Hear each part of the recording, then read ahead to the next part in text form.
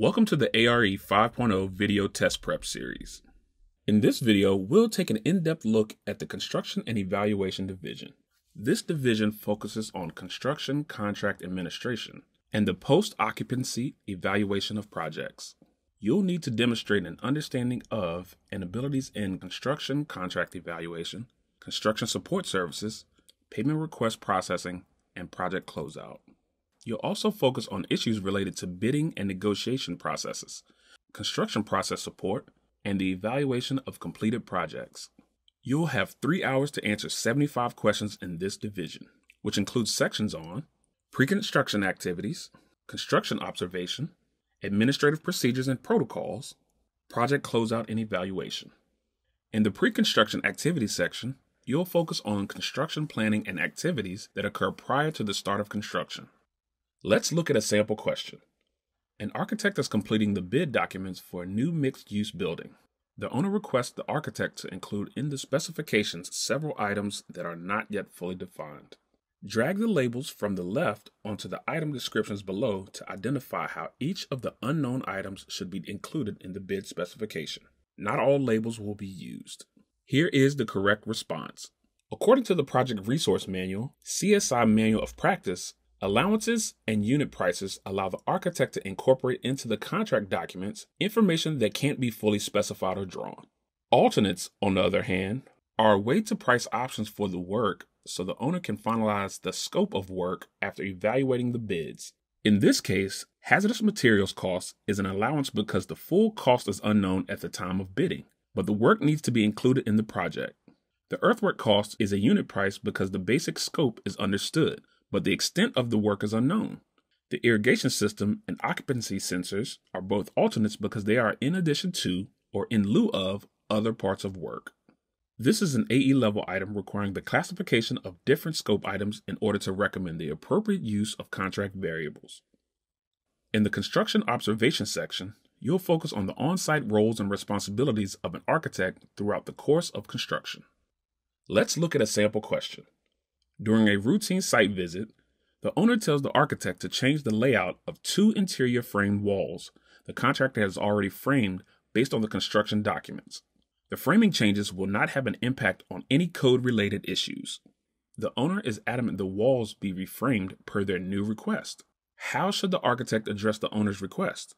Ask the contractor to schedule a meeting on site with the owner, architect, and framing subcontractor to review the changes. Review the expected effect on construction costs and schedule with the contractor. Then prepare a change order for owner review. Issue a construction change directive with a requirement for time and material invoices to be submitted for the work.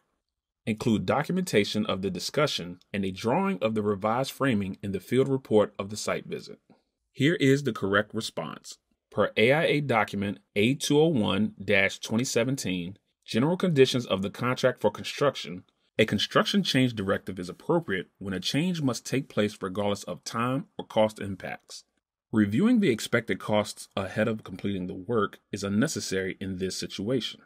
On the other hand, a field report alone is inadequate because this change certainly has both time and cost impacts. Finally, an on site meeting with the sub is unnecessary, as the requested changes can be fully documented by the architect. This is an AE level item requiring an assessment of a built condition in order to determine the appropriate contract change. In the Administrative Procedures and Protocols section, you will focus on the documentation necessary for the construction process and the importance of clear written communication. Let's look at a sample question. After construction has started, the contractor finds that the specified carpet has been discontinued. The budgeted cost was $17 per square yard, with a total of 3,500 square yards of carpet needed. The carpet subcontractor suggests an alternate carpet, which is acceptable to the owner. It's $18 per square yard, but the price would drop to $15 per square yard with a 4,500 square yard minimum. Due to the delay in finding the replacement carpet, the order must be expedited, which adds a $1 per square yard premium. Using the most cost effective option, what will the cost difference be for the new carpet? The correct answer is 7,000. You'll first need to calculate the original cost of the carpet. Next, you'll calculate the cost of the two alternates, the higher price at the specified yardage and the discontinued price at the increased yardage. In both cases, the premium for expediting the order must be included. After deciding on the more cost effective option, you'll subtract the original cost from the cost of the alternate to determine the cost difference.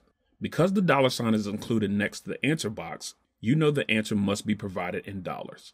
This is an AE level item requiring you to analyze cost and specification information to evaluate product alternates. In the project closeout and evaluation section, you'll focus on post construction activities. Let's look at a sample question. The contractor notified the architect that the project was ready for substantial completion. The architect inspected the work and prepared the following list of incomplete work.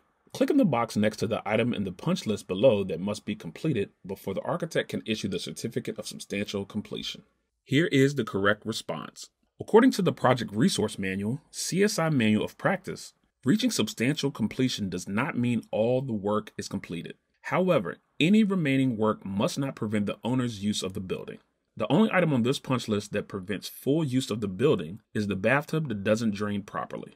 This AE level item requires you to evaluate a typical construction procedure and determine the required outcome. For more information about the Construction and Evaluation Division, refer to the ARE guidelines. Comments? Questions? Let us know. Be sure to check out the ARE 5.0 community for expert advice and tips from fellow candidates. And for more information about the content covered in each division and tips on navigating the exam interface, please watch our other ARE 5.0 test prep videos.